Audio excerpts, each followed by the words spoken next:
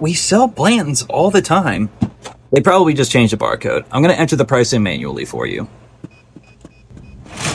All right, sir. You are all set. Thanks, bro. Have a good night. Score. Uh, Dylan? is, is that what it looks like? There's some sediment at the Yeah, bottom. you don't have to explain yourself. Uh, what's up, dude? We got this very rare, highly allocated bottle of Blanton's Gold label in the other day. Have you seen it anywhere? Uh, this Blanton's Gold looks a lot like the regular Blanton's, right? Yeah, kinda, but the box is gold instead of brown. Yeah, but that's like the only difference. It's not like one's more expensive than the other. No, no, the Blanton's Gold is way more expensive.